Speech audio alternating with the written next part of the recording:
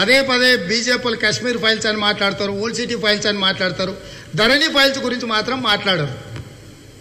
మరి అదేందో బీజేపీ వాళ్ళ భయం.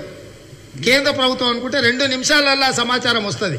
ఏ దేశ పౌరుడైనా ఈ దేశంలో పెట్టుబడి పెడితే అంతిమ లబ్ధిదారుడు ఎవరో రిజర్వ్ బ్యాంకుకు చెప్పాలి. చెప్పకపోతే ఆ సంస్థ యొక్క ఆర్థిక కార్యకలాపాలను దేశంలో నిషేధించవచ్చు కాబట్టి ఇప్పుడు నూతనంగా నియామకం జరిగిన గంగపురం కిషన్ రెడ్డి గారికి నా సవాలు ఒక్కటే. ధరణిలో ఉన్న పెట్టుబడిదారులు ఎవరో కేంద్ర ప్రభుత్వం ద్వారా మీరు నిగ్గుదేల్చండి మీరు వాళ్ళని పట్టుకోవాల్సిన పని లేదు. ధరణి పెట్టుబడులు ఆ సంస్థలు ఎవరివి ఆ వ్యక్తులు ఎవరు ఏ దేశ పౌరులు మీ దగ్గర ఉన్న సమాచారాన్ని బయట పెట్టమని చెప్పి గంగపురం కిషన్ రెడ్డి గారి తెలంగాణ భారతీయ జనతా పార్టీ అధ్యక్షుడు మొదటి సూచన సవాలు నేను చేస్తున్నా. కిషన్ రెడ్డి గారు సూటిగా ధరణికి సంబంధించిన సమాచారం మీద స్పందించాలి. బీజేపీ యొక్క స్టాండ్ ఏంది? బండి సంజయ్ గారు మేము రద్దు చేయము. అద్భుతంగా ఉంది. కేసీఆర్ పథకాలను కొనసాగిస్తాం అని వారు చెప్పినారు. కేసీఆర్నే మూడోసారి ముఖ్యమంత్రిగా కొనసాగిస్తామని కిషన్ రెడ్డి గారు చెప్తున్నారు ఎందుకంటే కేసీఆర్ అంటే సోషల్ మీడియాలో పెట్టారు కిషన్ చంద్రశేఖర్ రెడ్డి అని. సో ఈ ఈ అన్నిటికీ ఈ కిషన్ చంద్రశేఖరరావు గారు కేసీఆర్ గారు వీళ్ళందరూ ఏమేం చెప్తారో వీటికి చెప్పాలి.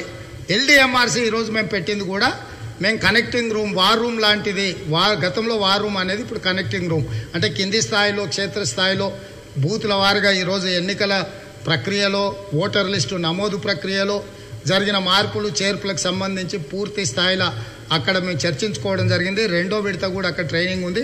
దానికి సంబంధించిన వివరాలు మా వాళ్ళు మళ్ళీ వచ్చి మీకు చెప్తారు. ఇప్పుడు కాంగ్రెస్ పార్టీ తరఫున తెలంగాణ కిసాన్ సెల్ జాతీయ ఉపాధ్యక్షులు కిషా కోదన్ రెడ్డి గారు రీసెర్చ్ని పార్టీ విధానాన్ని గ్రామ గ్రామంలో వెళ్ళి చెప్పడానికి బ్రోచర్ రిలీజ్ చేస్తున్నాం. మీడియా మిత్రులు దాన్ని కవర్ చేయాల్సిందిగా కోరుకుంటున్నాం. నేను అడుగుతారా? ఏందో అడుగురు అడిగినాకనే రిలీజ్ చేస్తాను. కూర్చో బలరామ బీజేపీ నాయకత్వం అనేది బీఆర్ఎస్ బీజేపీ ఫెవికల్ బంధాన్ని మరింత బలోపేతం చేయడానికి కేటీఆర్ గారు ఢిల్లీ పర్యటనలో సూచన చేసిండ్రు నడ్డా గారు అమలు చేసిండ్రు. వచ్చిండ్రు.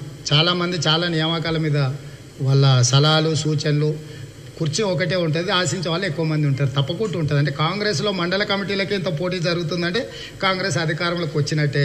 ఇది ఒక మంచి వాతావరణము. దీన్ని మీరు మేము ఆస్వాదించాలి. డెఫినెట్గా మేమే మా పార్టీ నాయకులకు సూచన చేసినాం. బీసీ ఎస్సీ ఎస్టీ నాయకత్వాలను మైనారిటీల నాయకత్వాన్ని బలోపేతం చేసి వీలైనంత మేరకు అత్యధికంగా వాళ్ళకి సీట్లు ఇచ్చే విధంగా వాళ్ళని గెలిపించడానికి అవసరమైన అన్ని రకాల కార్యాచరణని కాంగ్రెస్ పార్టీ తీసుకోవాలని చర్చ జరిగింది. మొన్న మల్లికార్జున్ ఖర్గే గారు రాహుల్ గాంధీ గారు కేసీ వేణుగోపాల్ గారి దగ్గర మేము ఢిల్లీలో సమావేశం చేసినప్పుడు తెలంగాణ ఎన్నికల సన్నాహక సమావేశంలో అత్యంత ప్రాధాన్యతతో కూడుకున్న ఈ అంశాన్ని చర్చించినాం. వీలైనంత మేరకు బీసీ ఎస్సీ ఎస్టీ మైనారిటీ ఎన్నికల అభ్యర్థులను మొట్టమొదట వాళ్ళని ప్రకటించడం ద్వారా కాంగ్రెస్ పార్టీ పేదల పార్టీ పేదల కోసమే కాంగ్రెస్ ప్రభుత్వాన్ని ఏర్పాటు చేయబోతుందని విశ్వాసం కలిగించడానికి చర్చలు చేసినాం.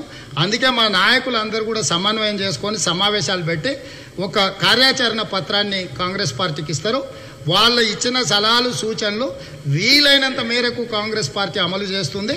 అధిష్టానం కూడా నాకు అదే సూచన చేసింది. మా వాళ్ళు చేస్తున్న ప్రయత్నాన్ని కాంగ్రెస్ పార్టీ అభినందిస్తుంది.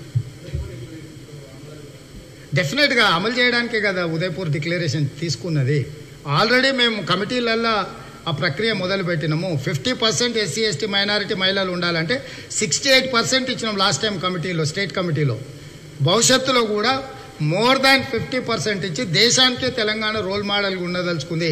ఎందుకంటే ఇక్కడ జనాభాలో అత్యధిక భాగము ఓబీసీ ఎస్సీ ఎస్టీ మైనారిటీలు ఉన్నారు కాబట్టి డెఫినెట్గా వాళ్ళ వెల్ఫేర్ కోసం వాళ్ళ లీడర్షిప్ కోసం కాంగ్రెస్ సంపూర్ణంగా కృషి చేస్తుంది.